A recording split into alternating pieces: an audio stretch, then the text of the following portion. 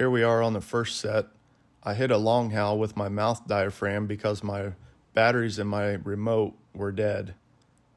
I get these five coyotes come out of the wood line and start working their way to the south.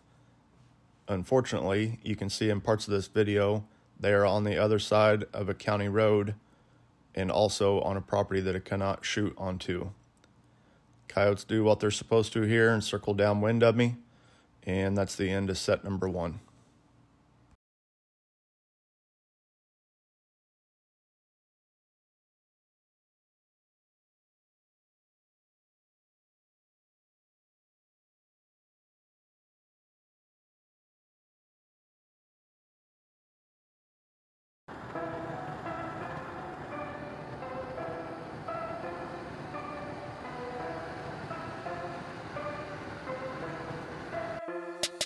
Somehow managed to leave home and not put new batteries in the remote.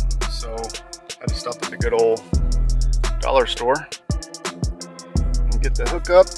Let's see what we got here. Boom. Back in action. Let's roll. I really appreciate you, Dollar Store. If you want to become a sponsor of the channel, just drop a comment down below and we can find a way to hook you up. Or you hook me up. Here we are on the next set. This one gets interesting rather quickly. I was calling this large ag field to my left, just playing some rabbit distress. And straight ahead out of this timber just to the right, I had this pair start heading right towards me.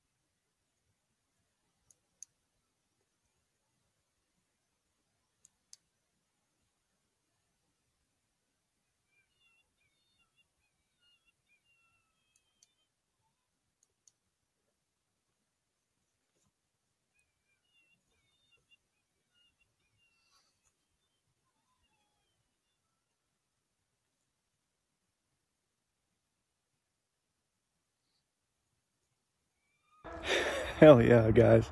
Man, kind of calmed down now because I thought that other one was going to come back in. Messed around with it for probably 10 to 15 minutes and uh, it never did come back into range. I probably could have shot, but I don't know what's behind this field back here on that uh, south side. But man, that was awesome.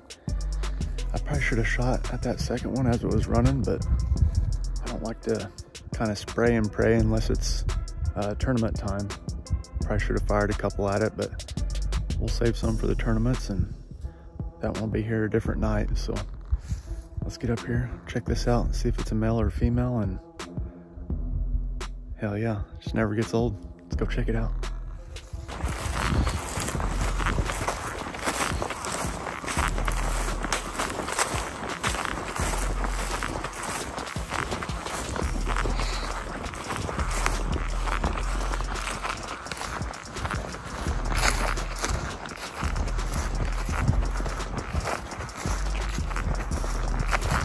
Always like to try to shoot that second one so the one that's closest is of course closer for a follow-up shot. I should have pulled the trigger on that second one, but it's okay.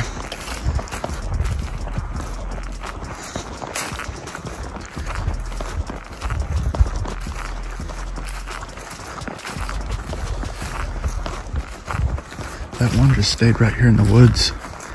Towards the end was barking at me. The wind kind of shifted turned towards it.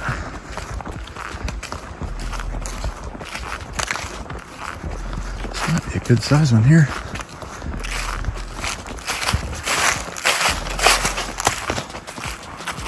Oh yeah. Biggest one of the year by far. Man, look at that thing.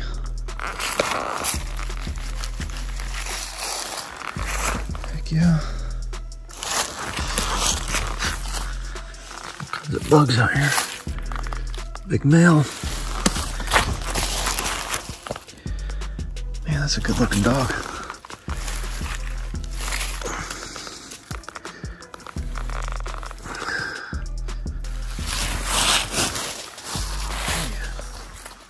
How big this thing is. It's a big dog. Heck yeah.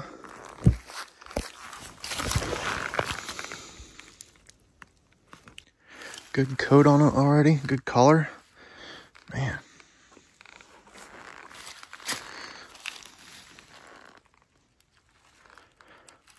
It's a good looking dog.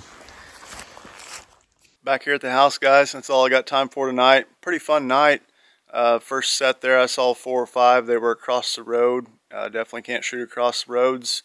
And uh, anyway, I didn't have permission to shoot onto that property where they were at.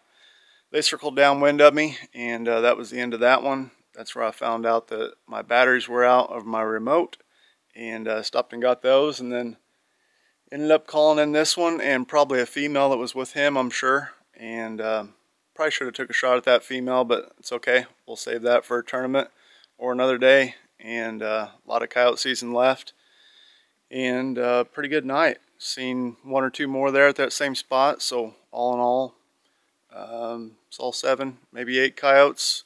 Took one shot, got one in the back of the truck. So can't beat that. And also want to say thanks to the guys at thermalhunting.com. Got the hat on here. Comment down below if you guys are looking into getting any thermal or just coyote hunting gear in general. And uh, I'll get you hooked up with those guys. Really good people over there at thermalhunting.com.